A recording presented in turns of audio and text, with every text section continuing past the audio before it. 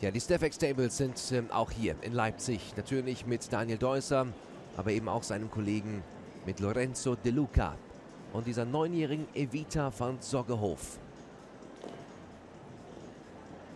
Diese Stute aus der ja, aus dem Besitz der Stefex Stables von Stefan Conter, die im vergangenen Jahr noch das Youngster-Finale beim CHIO in Aachen gewonnen hat. Und die hier richtig schnell unterwegs ist. Tobias Meyer 52.08 vorne. Und es sieht so aus, als wäre das die neue Führung. 50,67 Sekunden. Es geht also noch, noch schneller als Tobias Meyer.